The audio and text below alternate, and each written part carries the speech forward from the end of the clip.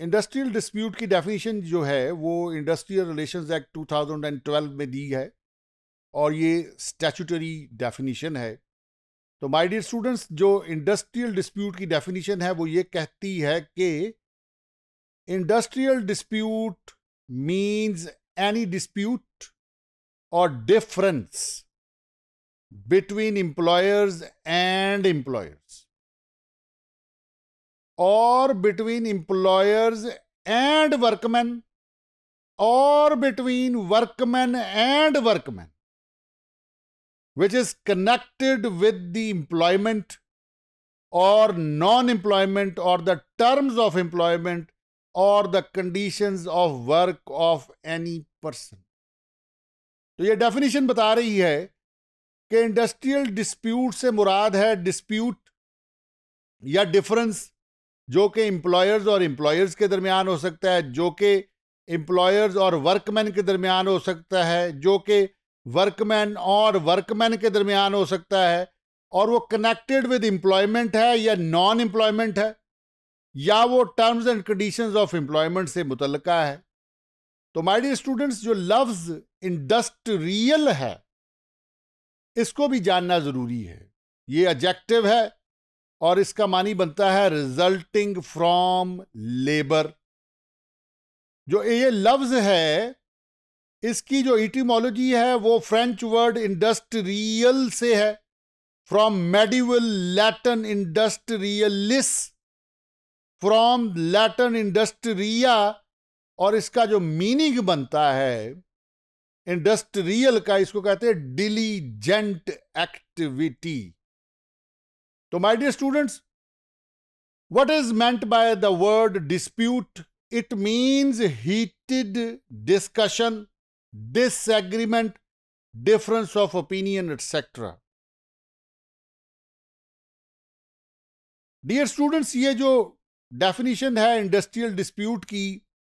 ये कवर करती है both rights and interest disputes both subject to both are subject to conciliation conciliation क्या होती है, ये भी आपको पढ़ाएँगे इंशाला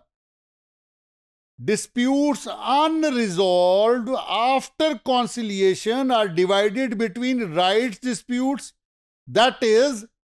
dispute concerning the interpretation or application of any statutory provision or any provision of a collective agreement or contract of employment which go to the court for adjudication and interest disputes which are subject to strike or lockout or can be submitted by agreement of the parties to arbitration by the court तो दो तरह के disputes हुए एक right से related एक interest से related अब डिस्कस करते हैं कि क्या कॉजेज हैं जिनकी वजह से इंडस्ट्रियल डिस्प्यूट्स खड़े होते हैं? तो इसकी दो रीजंस हैं। एक तो इंडस्ट्रियल फैक्टर्स हैं। दूसरे मैनेजमेंट एटीट्यूड टूवर्ड्स वर्कर है। तो इंडस्ट्रियल फैक्टर्स क्या हैं? इंडस्ट्रियल फैक्टर्स जो रिलेट करते हैं वो एम्प्लॉयमेंट से रिलेटेड होते हैं वर्क से रिलेटेड होते हैं वेज वेजेस से रिलेटेड होते हैं आर्स ऑफ़ वर्क से रिलेटेड हैं प्रिवलेज से रिलेटेड हैं राइट्स और ऑब्लिगेशंस ऑफ़ एम्प्लॉयर और एम्प्लॉज से रिलेटेड हैं। और माय डियर स्टूडेंट्स एक industrial matter in which the both parties are directly and substantially interested वो भी जो इंडस्ट्रियल डिस्प्यूट के ज़िमरे में आएँगे। तो my dear students you would be enlightened to know the other factor जिसकी वजह से इंडस्ट्रियल डिस्प्यूट खड़ा होता है, वो मैनेजमेंट का एटीट्यूड है टूवर्ड्स वर्कर्स क्या एटीट्यूड हो सकता है मैनेजमेंट का? मैनेजमेंट अनविलिंग टू टॉक है कि डिस्प्यूट है ही नहीं और इसके मुतलक हमने बात ही नहीं करनी। और इसके अलावा ये भी डिस्प्यूट खड़ा हो सकता है कि मैनेजमेंट जो है वो किसी ट्रेड यूनियन को रिकग्नाइज करने को तैयार नहीं है, कि ये ट्रेड यूनियन के पास अनफ अथॉरिटी नहीं है कि वो निगोशिएट कर सके। तो माय डियर स्टूडेंट्स